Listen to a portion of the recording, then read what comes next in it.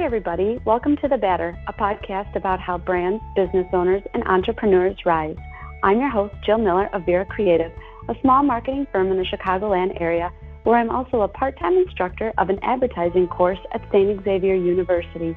Join me as I hang out and talk to people who know all about the ingredients to success and the recipes for disaster.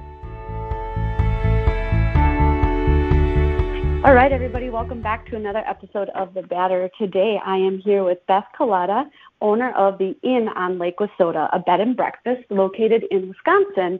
And before we get started, I just wanted to remind everybody of a contest that we're running. If you snap a screenshot showing that you have subscribed to the podcast, post it to social media, tag at Vera Creative and two friends, you're automatically entered to win coffee or tea or whatever you like from Starbucks. And for the next episode, you could be sipping on some free beverage. So everybody make sure you enter the contest. Again, we do this uh, a giveaway every week. So keep on entering. Okay, so Beth, you own a bed and breakfast. Tell me a little bit about that. We have um, a bed and breakfast in Chippewa Falls, Wisconsin. So we're just north of Eau Claire. Um, and it's right on Lake Wissota, so hence the name, Inn on Lake Wissota. And uh, we bought the bed and breakfast uh, five years ago. And when we purchased it, it was called Pleasant View Bed and Breakfast. So it's been a bed and breakfast in Wisconsin on Lake Wissota for 24 years now. Oh wow! Okay, I had no idea it was there. I grew up in Chippewa Falls, Wisconsin, but I yeah. did not know that the bed and breakfast existed. So that was one of the things that was surprising to me when we first bought it. That most of the locals didn't even know that it was here. It's like, oh my gosh, we got a lot of work to do. So over the last mm-hmm. five and a half years, we've done a great job and get more local people than we did when we first or bought it. Wow. Okay. So we'll definitely have to jump into how you grew the business, but let's talk a little bit more about the background. So, do you have um, experience in hospitality, or what led you to just making a decision of, hey, I'm going to buy this business? Um, I have no experience in hospitality. I left a perfectly good accounting job. Um, I had been an accountant for 20 years, and actually, it was a career that I chose um, when I was in my I, well, actually, I turned 30 and figured I needed to to uh, to get myself a job. I was very fortunate and was able to be a stay-at-home mom. With at that point, we had two children, um, so I was a stay-at-home mom.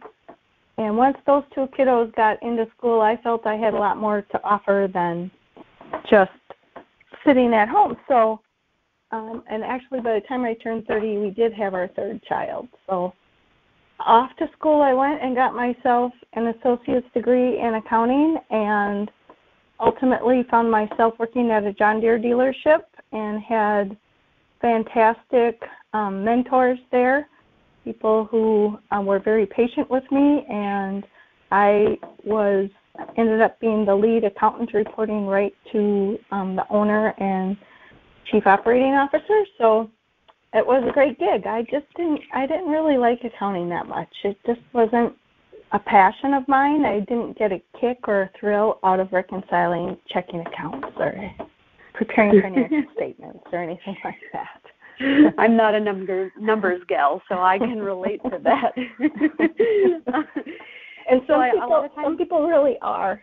So yeah, and we need those people. So we're we're yes, thankful we that they're that they exist. Yes, exactly. One of the questions I also often ask entrepreneurs and business owners is, you know, what are some of the ingredients to success? And I feel like we can um, we can collect those ingredients as we talk. And the first thing I'm hearing is get a good mentor. And and that almost is no matter what you do whether you own your business or you're working for somebody else who owns the business it keeps repeating itself uh, as i talk to different people in different podcasts. But you had a mentor and this was before you even embarked on owning the bed and breakfast. Right. what was it about having a mentor do you think that that just helped you prepare for everything else that kind of came your way in life? Um, my mentor, and you know, he may have set out to be my mentor. He was just a good, a good boss. So um, he he works very well with all kinds of people. You know, he he has to. He's he was in charge of you know um, people who were in charge of you know parts salespeople and equipment salespeople and service technicians. So um, the accounting department obviously was also under his belt as well. So anyway, but he just and in my mind it just happened organically and you know it's all a matter of mindset. So and he had this great expression saying that a bucking horse don't pull. So either you're on the team or you're not. And you have to make up your mind where you're at. There's no wrong answer to that question. But if you're on the team, great. Then you have to act like you're part of the team and help pull the cart. And if you're not going to be a member of the team, we wish you the best of luck, but then it's just time to move on. And he really wasn't um, trying to be harsh with that, but he was building a culture where everybody could work together and feel like they were working towards the same goal. Yeah, and that's a, that's challenging, and one reason why I pretty much work alone because it's hard mm-hmm. to manage all different personality types and to figure out mm-hmm. different things motivate different people. And as a good right. mentor, as a good boss, as a good manager, you have to figure out, I think, rather quickly what it is that motivates yep. the individual. So yeah, that mm-hmm. that's um those are some of the ingredients definitely to a great mentor, to a great boss. But like I said, it sounds right. like a lot of people will attribute uh, some of their success or their courage maybe to try and, and move on to something a little bigger and bolder to having a great right. mentor. Yeah. Right. So you yeah. worked as, in accounting and then uh, okay now now you own the bed and breakfast. So what was the transition like? What was happening in your life or maybe wasn't happening in your life? Um i think it was more wasn't happening in my life. Um all three of our kids were grown and and off living their lives. So we were empty nesters and my husband has this passion for fishing um and everybody that I worked with loved selling John Deere equipment and parts and they were all very passionate about that. It's like that's what I felt like I was missing was passion for for doing something in my life. And you know, I I was very active in our church, but that's only, you know, that doesn't fill up all your time and it feel it fills a certain part of your cup, but it doesn't get you all the way there. You have to have a definite purpose in life. And I think everybody needs it's important to keep yourself balanced in that regard um, to make sure you're not going to be fulfilled just by your job. You're not going to be fulfilled just by your volunteer work. You're not going to be fulfilled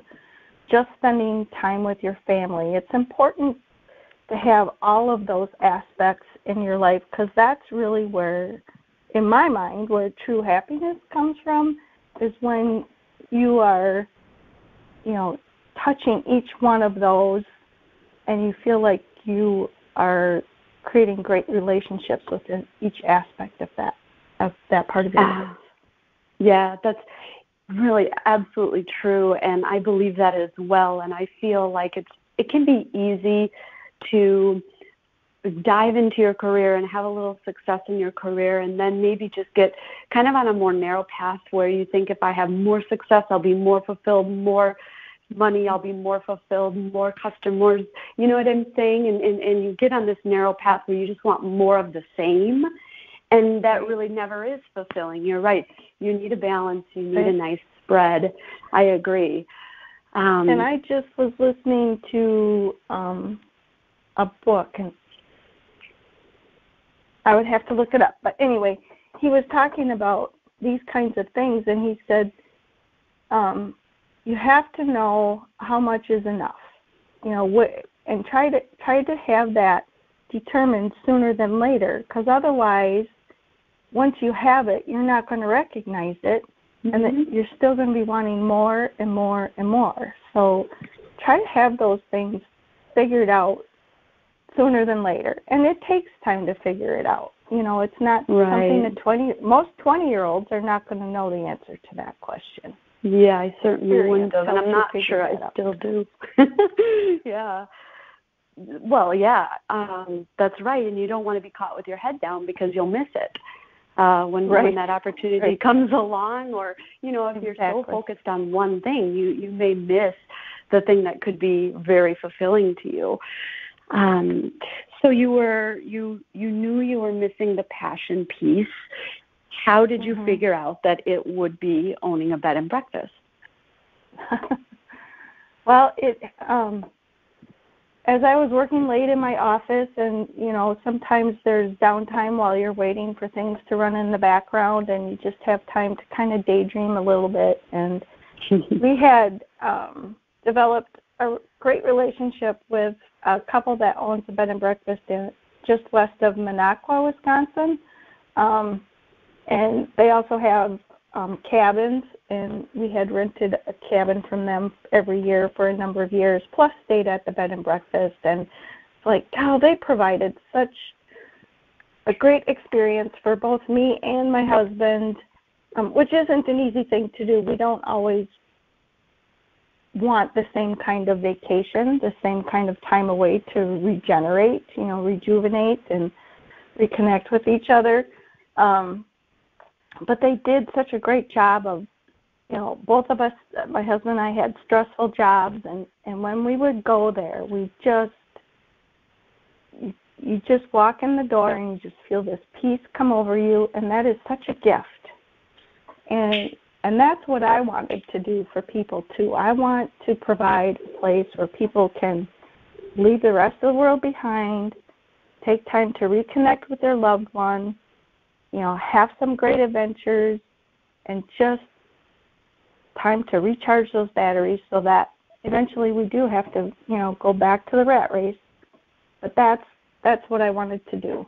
And it became more, you know, most women when they walk in the front door of the bed and breakfast will say, mm-hmm. "Oh, I've always wanted to run a B&B," you know. But once yes. they think about it for 5 minutes, they're like, "Okay, maybe not." Cuz it is it's a huge commitment and it's a lot of work. But and I knew that, you know, I I absolutely knew it, but it became a yearning and a calling for me. So, my parent I talked to my parents about it first before I ever talked to my husband and they really encouraged me.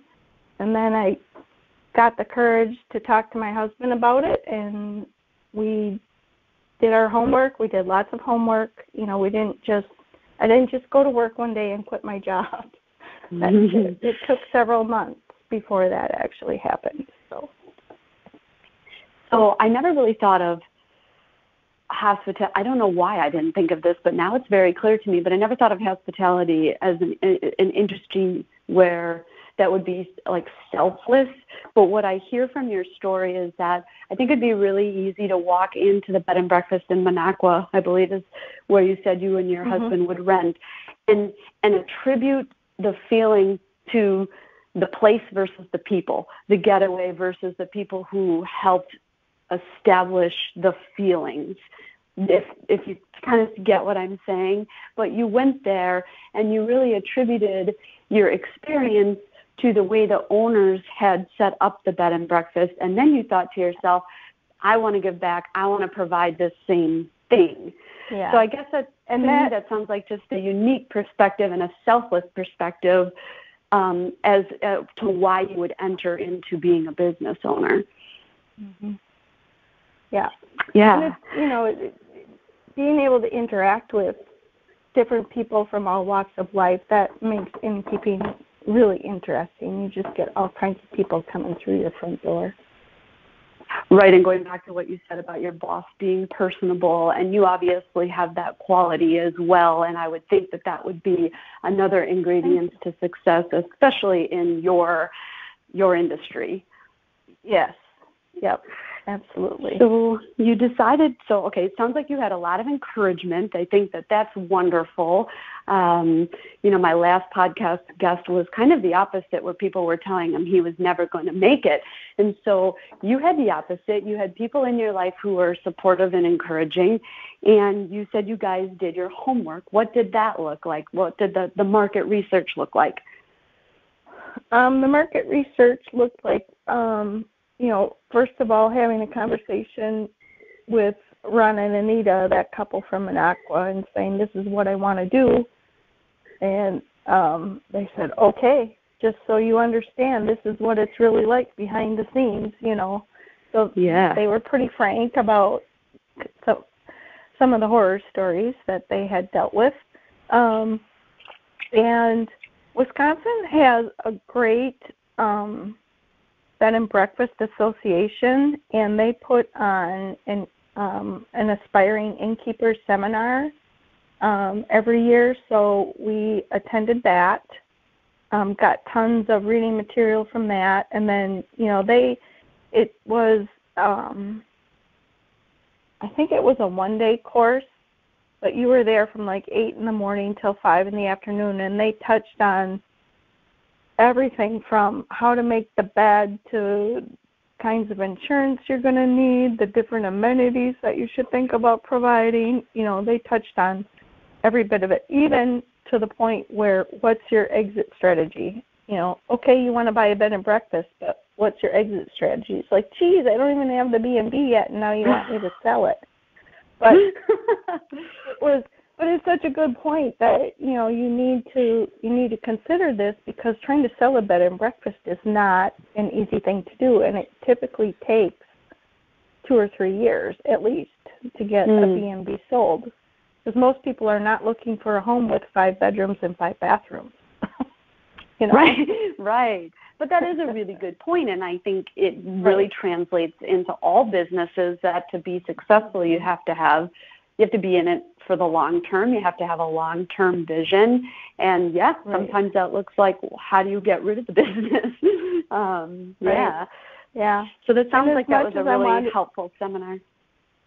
It was very helpful. And as much as I wanted to stay in the area where we lived at the time, we had raised our family there, had been there for 26 years. We just weren't finding um, the kind of you know the the home that we wanted. I wanted first I wanted an existing business. I didn't want to leave my perfectly good job and then have to start from scratch. I wanted to be able to mm-hmm. jump right in with an income stream. Um, and I wanted it to be on the water. So um, actually, Roger's the one who found Pleasant View in Chippewa Falls, and we were living in Osceola, Wisconsin at the time, and like I don't know if I want to leave all my friends that we've had for 26 years. That's you know, when you're in your 50s, that's not as easy thing to do to start over like right. that. Um, right. As when you're in But you have 20s, five beds but... and five bathrooms they can come visit, right? Yes, that's, that how you looked at it? that's true. when mm-hmm. you you talked about when you first bought the business that none of the locals really knew that it existed. So, what did mm-hmm. you do mm-hmm. that kind of turned it around? Well, that takes time. Um, and as you know, marketing takes money. So we didn't have a ton. We had time. We didn't have a ton of money. Um, so you have to be open to new ideas. Like you said, you can't have your head so far down that you're missing all the things that are passing you by.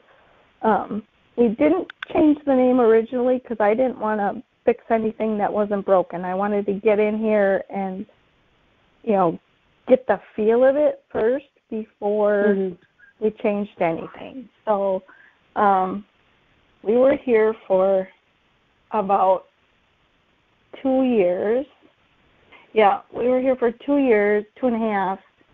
And I had the conversation with Roger. I said, We're doing okay, but if anything major happens, like a new furnace or a new roof, or we're going to be in trouble because it's it's not we're not getting that much business. And considering we're on the lake mm-hmm. and we mm-hmm. have this fabulous view, we should be cooking with gas. You know, we should be doing better than we are. And um, I had joined the Wisconsin Bed and Breakfast Association, and they were doing um, a promotion, and um, there was this red chair that was traveling across the country, and it came through Wisconsin. And so I had it for a few days, and then I had to pass it off to another innkeeper. And so we met somewhere in the middle, and it turned out he has a marketing background, and he was wanting to supplement his bed and breakfast with a consulting business for innkeepers on how to grow their business. Hmm. And like, oh, that sounds like exactly what I need because you know there's plenty of companies out there that'll do the marketing for me, um, mm-hmm. but they're very expensive, and we're very seasonal business here. Mm-hmm. And being in northern Wisconsin, it's not easy to get people to travel, you know, in January and February. Let's face it, it's cold, it's right. snowy, you know. So anyway, um, I was his first client, and his first recommendation was to change the name, and I said that's a fabulous idea. I'm on board with it. So, um, it, and there was a whole host of other things that we did, but basically we rebranded um, we make sure that you know we're seen on every available OTA that is out there. Um, and you just you got to get involved. You know, one of the first things I did was I joined the local Rotary Club so that we could meet some people from the area because our guests coming through our door are just here for a few days. They're not from the community. They're, you know, they're very nice people, but they're not going to become friends of ours over right. the long term. Um, and then Roger joined the Elks Club, and you know, you just get involved in the community and you spread the word, you know, by doing good things. So it sounds so, like the rebranding took a um, the rebranding had a big to do with turning the business around and just getting out in the community and the ever so popular word of mouth. yeah, yeah, so that rebranding, um, even though it was expensive, um, it was very effective. And the first year, we um, increased our occupancy rate from under 30% per year to over 50%, and we've sustained that over three years. So wow, um, that's, that's phenomenal. This year is going to be a little different. COVID nineteen had something mm. else to say about that, so we'll see. Yeah. We'll see what happens. yeah, well, and I would just like to touch on that a little bit because, again, in some of the other podcasts, it's just these themes keep coming up, but your brand is the first kind of touch point that you have with people and it's either going to turn them on or turn them away and so mm-hmm. the feeling that just your logo and the colors and your website can that all of the things that go into your branding the the the impact and the first impression that it has on your potential customer is so extremely important um, not just from kind of that psychological view, but from the monetary view. Look at how much you were able to grow with uh, with some branding, and it sounds like you got your return right. on your investment. Yes, yes, you have. That's that's great. So let's talk about maybe that first realization when things didn't meet reality. You you know you talked a little bit that you had a pretty good idea that things were not going to be all roses, but do you have any right. stories Yeah, the thing I and it's not just one event, but the thing that surprised me the most is um how isolating you can feel as an innkeeper because you know even though you're greeting guests and you're meeting new people they're, they're not really here to visit me you know they're not here to spend time with me um they're here to reconnect with their loved one and go off and have adventures and i get to see them at breakfast and hopefully, you know, out by a fire in the evening, but beyond that, you know, not a whole lot of interaction with my guests. So, um, mm. and it's up to them. You know, they set the pace. How much do they want to have, a, you know, to get to know me? I guess is what I'm trying to say. So, um, yeah, that was that was like, huh, this is a little more lonely than I thought it would be. And um, part of that is because you're waiting around for guests to arrive. So um, you only get one chance to make a great first impression. And for mm-hmm. me, that's when I'm greeting them at the front door. And um, we have a set time for our check in period. And not all guests can make it during that time frame, which is understandable. Um, but they aren't always good about communicating that. So then I would be sitting here waiting at you know six thirty or seven o'clock on a Friday night for guests to arrive, and you have no idea what time are they going to get here. Meanwhile, the friends are calling saying let's go out for dinner, and you're like, well, I can't because waiting for these guests to arrive. So um, we fixed. I don't know that we fixed it, but we've helped it for the guests and for us. We've had positive feedback on it. They know we communicate to them. They know if they're not going to be here by six o'clock, that they will have a self check-in. So we've got this keyless entry on the front door. I program a code in for them. They can let themselves in. I leave a note on the door letting them know um, what their code is and how they can get in and where to find their room and and that takes the pressure off of them to get here you know, by six o'clock. If they're just leaving the Twin Cities at four thirty, they might not make it by six. You know, and then I can make friend plans with friends and not hold hold them up either. So. Yeah, so there's a lot of gold in what you just said, I think. Um, you know, one thing it sounds like if you're looking to make friends and host parties and, and be uh, the the person that has this wonderful bed and breakfast.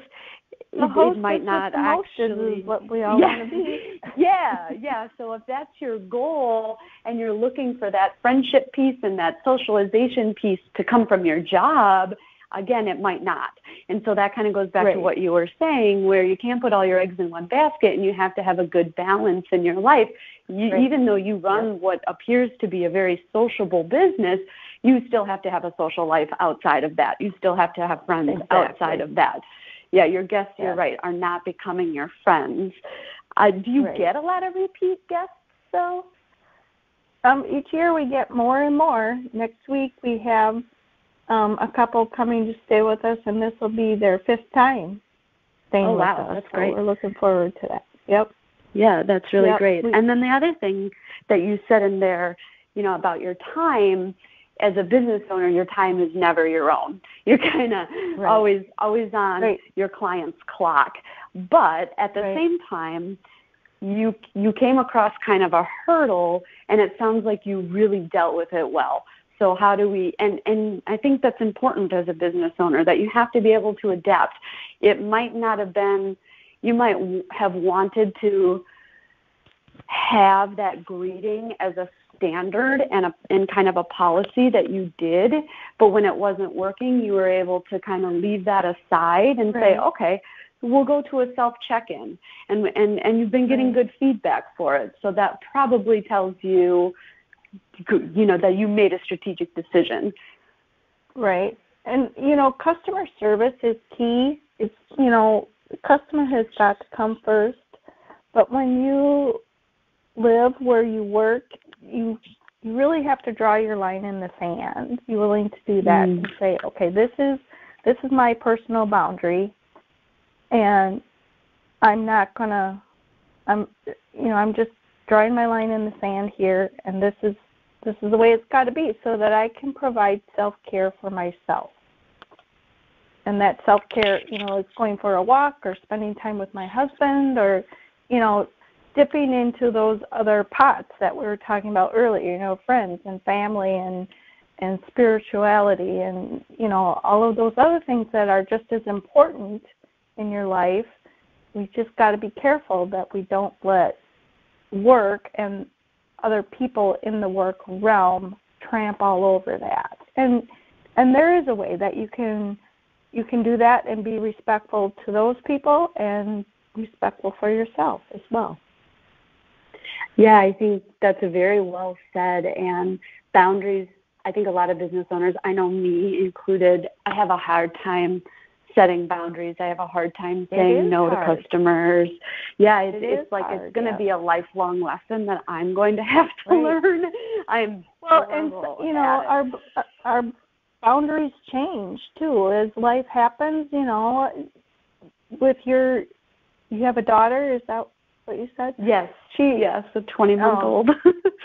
oh fun you know the boundaries you need to set now might be different than when she's five or six you know you might have a little bit more freedom when she's in school or there might be more demands at different times during the day you know it, it, life changes and we have to be willing to adapt um, in order to keep up and to make sure that we're we're growing our business because we know what happens if we're not growing it Right, exactly. So yeah, and again, I I totally agree, and I think that that's one reason why people may not find success is when they're so resistant to change and they're so resistant to growth.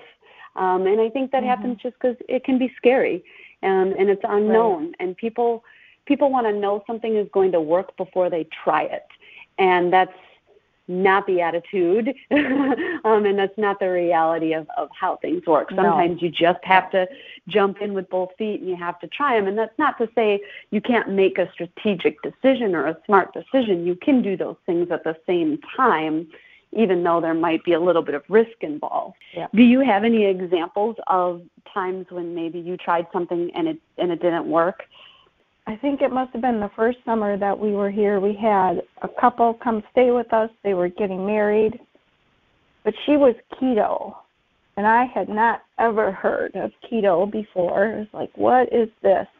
So I did my research, and I found a recipe for a quiche that was mostly vegetables, and you make the pie crust out of spaghetti squash, and thought, oh great, I can do this, you know. So and she was going to get her hair done in the morning, so they wanted breakfast real early. So I delivered it to their room, and then she was gone, and then I saw him later, and I had actually tried that quiche after I delivered it to their room, and it was terrible. Oh my Oh, no. gosh, it was just awful. I saw him later and I said, "Oh, I'm so sorry that I served you that breakfast." And he just kind of looked at me and I knew he felt the same way. He didn't say anything bad about it, but I knew he felt the same way. So I said, "I'll make it up to you tomorrow." And so the next day I did make something, you know, I just fried her an egg or something and then I made him um one of my more popular um quiches and he wrote a little note the next day saying that that was awesome and it definitely made up for the previous day. So so we're not always going to get it right, you know, and I think it's important to show yourself a little bit of grace when that does happen. Um, but try to recognize, you know, okay, what went wrong and how can I correct it? What what can I do different to kind of redeem myself and get myself back on track? So I think it's important, you know, show yourself some grace, but you also have to make sure you're holding yourself to a higher standard. At least for me, that's important. I want to make sure I am doing the very best that I can with everything that I do here at the bed and breakfast. I want to be top notch. Yeah, and I definitely think that that's what will set you apart from others, and in general, what that sets, how that sets apart the good Right. owner, the good business Right. owners from. You know, you have you have that drive, and it's not it's Yep. intrinsic. It's not for any Yep. external motives, but it's because you want to do it for yourself and the feel the way that it makes you feel. Um, a- and I think that that's a quality that can't be taught. you have it or you don't. Yeah. Well, I think I think you can get practice with it though too. You know, one thing um in hospitality, we have ourselves out there on TripAdvisor and anybody can leave a review. so you feel like you're really exposing your belly, you know, kind of a crude way to put it, but you know, we're really putting ourselves out there and um people do leave bad reviews. There's just no way around it. But what I have discovered is they're usually crabbing about some little minute thing, you know, and it's all in how you respond to it. You have to respond to the review for sure. Yes. And it's all in how you respond to it.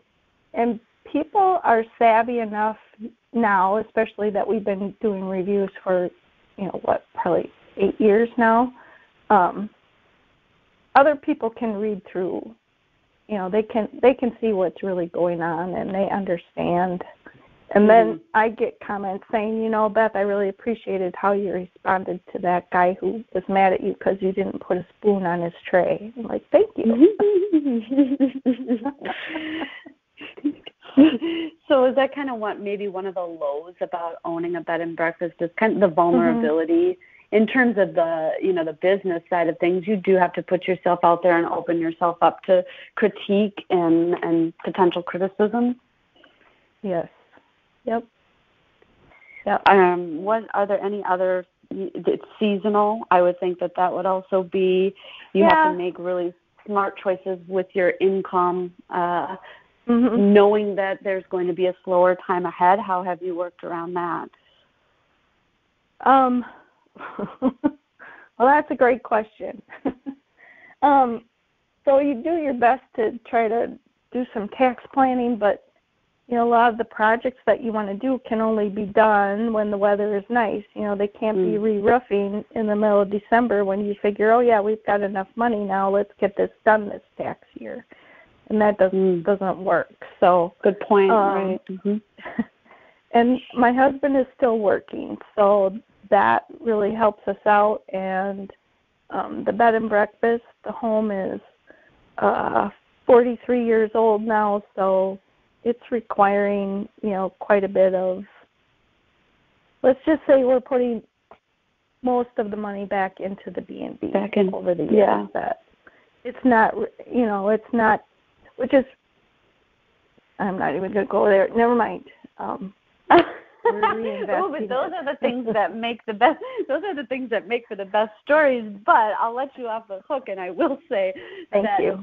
a, a lot of the a lot of the best business owners that I know pour a ton of their money back into Yeah. the business, and and it is so that they can maintain the experience for their customers Absolutely. that that Yep. they desire. hmm Yep. Yeah, and I think that that can Yep. be surprising to a lot of people who are just starting out or have never owned a business before.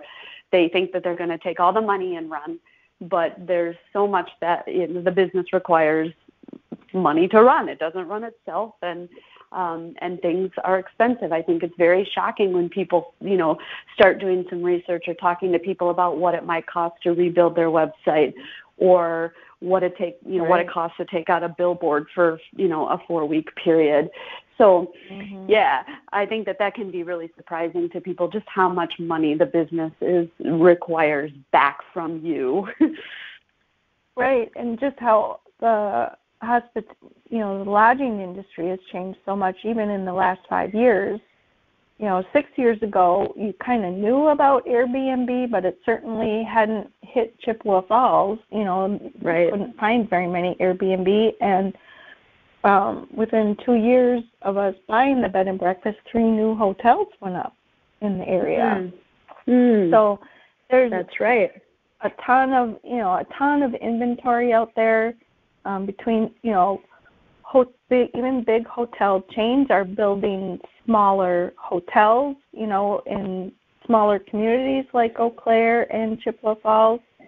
So that's putting more inventory out there. Airbnb has a lot of inventory out there. Um, so people are are waiting till the last minute because they don't have to plan ahead for their vacation. They can, you know, look at the calendar on Wednesday and say, "Oh, let's go somewhere this weekend," and chances are they're going to find some place to stay. You know, um, back in the early days of of bed and breakfast, you know, in the 80s and 90s, innkeepers had their calendars full for the summer come come June Mhm. 1st, and that made it a lot easier to plan you know, financially, you know, what projects could you get done? You know, you had a pretty darn good idea of what your cash flow was going to be. Right. So kind of another low Mm-hmm. Another low yeah, but, the, you know, industry is the competition. The the level right. of competition has has definitely increased. But I would Mhm. also think that with that, it would it would force you to maybe target your marketing a little bit more because I just can't imagine that somebody that would be listen, when I come home, I want to be on Lake Wissota. That is where I want to be. I grew up on that Mhm. lake. I swam in the summer every day, all day on my grandpa's beachfront property. That property is no longer in the family, and it just devastates me that my granddaughter Oh. will not get to have that same beach experience that I had growing Right. up. But so in my head, Well, you you're know, very I'm fortunate to have had property with beach. That Yes. there's not many properties on the lake that have beach. There is not, and his probably yeah, his probably had the most beachfront. It was I have chills right now just talking about this property. It was just gorgeous great and yeah, absolutely wonderful memories and and so I can't imagine though that somebody looking to stay on the lake and have that type of experience I mean, they'd really be settling if they booked one of those hotel rooms. So, in terms of target market, I feel like at least there's that. There might be more competition, but um, um, Right. among that, you're definitely reaching somebody who is there to experience the community, to experience the lake, to uh, yeah, I, I, for for a different, a totally different type of vacation Yeah. versus And we're staying very in one of the fortunate in that regard. We are the only licensed and inspected um, bed and breakfast on the lake. The only licensed and inspected lodging. You know, there are a couple campgrounds, but um, there's no no other property like us on the lake. So So awesome. I know you talked a little bit about that seminar that you took, but I also find it interesting because as a business owner, a lot of us start business and there's laws and rules and regulations and there's copyright Mhm. and there's trademark and there's all these things that we never really Mhm. probably thought about. And even, I mean, I have my master's in marketing and there was not one single legal course or anything that dealt with the legal side of marketing. And so I was actually talking one time to a department chair at the university that I teach at, and I was telling her that that was a huge part of what I thought would be really beneficial to the curriculum. And it, it sounds like maybe were you surprised by any of the insurances or the regulations or licensing that you had to have, or did you kind of know about that stuff ahead of time? Um, I didn't until I took that course. I didn't know about any of that. Well, the insurance is is expensive. It's not as expensive as I had been thinking it would be. So that was kind of a nice surprise. Um, and I don't know why I thought it was going to be more expensive. Well, you have to um, get a license from the Department of Health. So um, we're inspected once a year by the Department of Health. So you have to, and I just had to get my um, food manager um, service recerti- I just had to get recertified. So I have to, Mm. even though I'm not running a commercial kitchen, I still have to get the same certification as somebody who's managing, you know, the local restaurant. Um, so and that's a once every five years. So, you know, and sometimes I get a little irritated. Why do I have to know what temperature everything on the buffet has to be? I don't do a buffet and I'm not serving pork roast and you know but it's it's okay. I get it. It's all part of the deal. Um I kind of lost track what the question was, Jill. I'm sorry. I don't even know what it was. Um, so the, it was just were you surprised kind of by all the the legalities, I guess you could Oh, say, yeah. that go into owning a business. Yeah. yeah we we live in a litigious society so you know i mean yes it's endless. Even the state has an idea of how far back you should be turning you know when you make the bed. They want you to have hospital corners and they want you to fold back that top sheet. I think it's 12 inches well who's going to come and measure that i don't know you never know somebody that's might state mandated. Wow. Yeah, yeah. that is nuts. Okay. There is a lot that I have learned there is just lot. in this conversation yeah. that I never would have thought about. And that's just it's amazing. But you're right, yeah. it is part of the deal.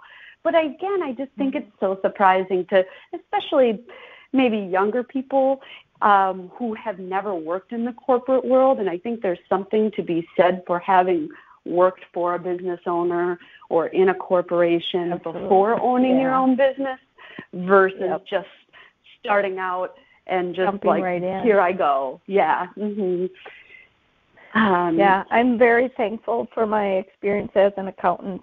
Very, very thankful. I would not trade my path to this dream job of mine at all because um, the training I had in the corporate world for how to ha- handle a difficult customer, how to, you know, um, just present yourself in a very professional manner and and not be all over the board with your emotions you know you can kind mm. of make be a steady eddy um i think that's a lot easier i for me that was something i had to learn over the years through my corporate experience so I'm very. I, I agree with that. I I definitely remember you know different people when I was first getting started reminding me to kind of take the emotion out, which is very hard for mm-hmm. me.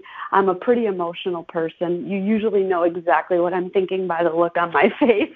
Mm-hmm. I don't mm-hmm. hide it well.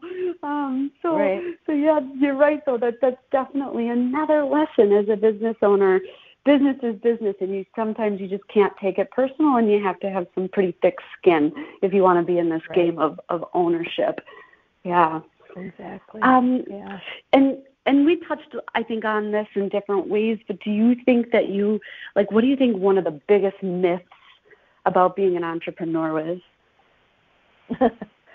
oh um there's several things but you know like we talked about before um, being in charge of your own schedule. You know, your time is your own. Well, no, it's not. Um, and you you have to wear so many different hats.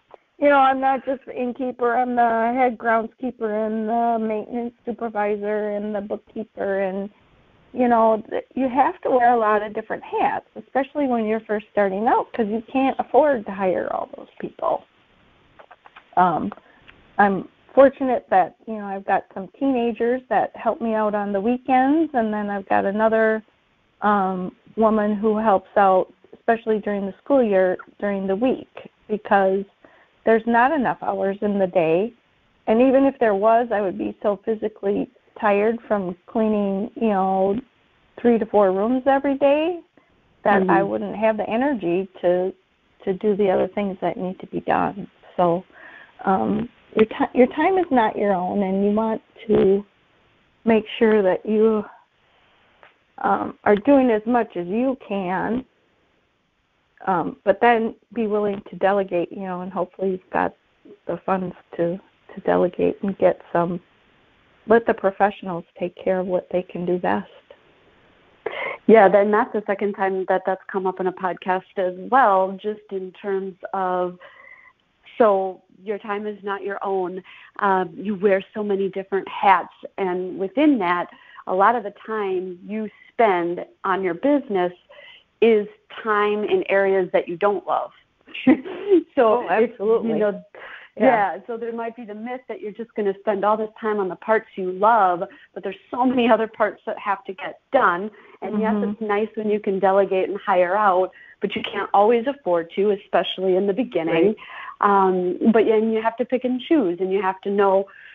Again, I say strategically which ones make sense for you to hire out, and which and usually those are are the ones that you're not strong in, the areas that you're not right. strong you in. need to understand yeah. where your weak link is. Yeah, for me it was marketing. You know, accounting people don't don't do marketing. You know, obviously. Mm-hmm. So that's where my weak link was, and that's where I got some help and um, you know quite frankly, I wish I could afford some marketing person to come in here and just help me out with a few things. You know, I can do things, but I don't always know if they're good, or if they're effective. you know, just having somebody to kind of look over my shoulder and say, "Oh, Beth, if you just do this," you know. Yeah, and I think the that's benefit where of working in a corporation. You have other people to get feedback from Mm. when you, you know, you're part of a big team. Um, even if you're working on a project by yourself, you're still ultimately getting feedback from other people on how that's going. Um, but when you're an entrepreneur, especially solo entrepreneurship, you know, you get to consult with yourself, and that's about it.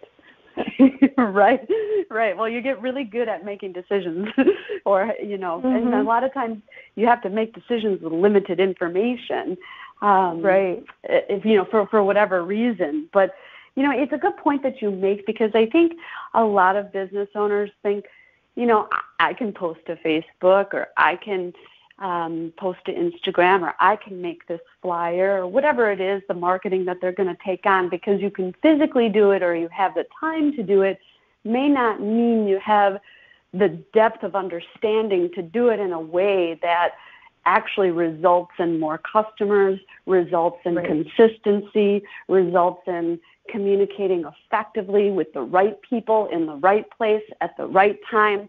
And I think I know mm-hmm. that's probably one of the most frustrating parts of my job is that, you know, in, in any situation, you have to convince people that they need you. And sometimes it can be very hard for me to convince people because they think, well, oh, you're just going to post to Facebook for me. I can do that. But there's a lot more that goes in behind the scenes just like any other job and that's why I you know I love these podcast interviews because I'm finding out a lot more of the behind the scenes work that goes into everybody else's job and I can truly appreciate that knowledge and I get to share a little bit too about you know what goes on behind the scenes for me as well. So Right. let me ask you um, I've been kind of asking people if they have any ridiculous or silly or funny stories, and I know you already shared your quiche story, um, and I thought that was kind of that was fun. You shared that as you know you kind of considered that as a, a little bit of a failure and how and, and shared how you overcame that. But is there any other story you have, or maybe it's not your own, but it's somebody else's, kind of a juicy piece of gossip? Oh, well, let's see. Oh, we did have. if not, that's okay. Yep. No, we did have a, um, a priest come and stay with us one time, and he was coming in April. And it turned out that the day he was driving up, it was a snowstorm, and and we had known this snowstorm was coming for you know they have been predicting it all week. So the day before the snowstorm hit, I emailed all the guests who were scheduled to arrive I said, if you want to come early, that's fine. Just, you know, your room might not be ready for you, but please get here as soon as you can. And if nothing else, you can just hang out in the common area until we're done cleaning your room. Um, but just get here safely. If yeah. So anyway, um, I was I had to go somewhere, and my husband was um, home, and all the guests had arrived except for this one and he was roger was out in the driveway and this little prius pulled into the driveway which had like ten inches of snow in it and it barely got up the driveway and into the parking spot and um this gentleman got out of the car and he looked at roger and he said when the hell are they going to plow that goddamn road I don't know if I can say that on on your podcast. but- That's fine. well, so and Roger didn't know that there was a priest coming, so he he told the gentleman he, he said, "I don't know. I'm waiting for them to plow so that I can plow our driveway once they you know pile it up at the end of our driveway and I can get it all cleared out." So anyway, he said, "Come on in. You know, we'll get you checked in and." And I always write the guest name on this little piece of paper with their code for the front door. And so I had written on the piece of paper Father Chuck. so he's having this gentleman sign the guest book and Roger says, So you must be and he kinda looks at the paper and he said, Oh, Father Chuck And Father Chuck said, "Oh, yeah, sorry about the swearing." so what was really interesting about Father Chuck was this was his second career. He had gone to seminary when I think he was late 50s or early 60s. Um, but prior to that, he had been um, a probation and parole officer at Cook County oh, wow. in Chicago. Yeah. Holy cow, that is a total different That's to 180. totally different lifestyle. My God. Yeah. But Oh, that that happened two years ago, and we're still laughing about that one. That's pretty. Well, trying to get a Prius through with a Wisconsin snowstorm can, yeah. Yeah. I, can, I can see why he had some choice words. Yeah, and he had no idea that it was supposed to snow. It's like, well, where the heck have you been? They've been predicting it. yeah. So. That's so funny. Thank you for sharing that story. So let's You bet. Let's recap the ingredients to success. We've talked about time.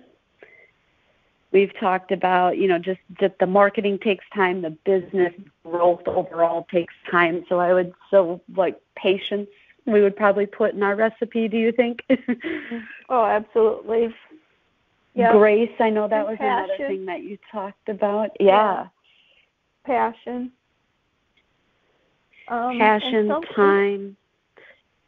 self-discipline i think is pretty important too Mm. and we didn't really talk about that too much but there's going to be a lot of things going on and those mundane things have to be done and having having the self-discipline to get those mundane things done is key to success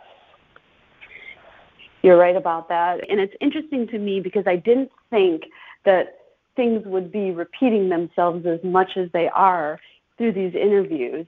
Um, but I'm I'm happy to hear that some of these things that I know that I've put a lot of time in and spent a lot of time in and the lessons that I've had to learn are the same lessons as other people have also had to learn in the same areas of time that yeah, that they've had to learn. So so you're not alone. Oh, no, and you know another good thing that we talked about is a mentor, having a good mentor mhm yep.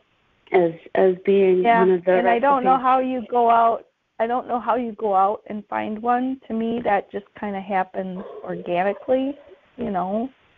Um Yeah, you are fortunate enough to i think when you recognize that person you know then you got to kind of jump on it and say listen you know i could really use some help and i think you might be able to to do that Right. You don't walk up to somebody and, you know, hi, I'm Jill. Will you be my mentor? It's not necessarily that type of relationship.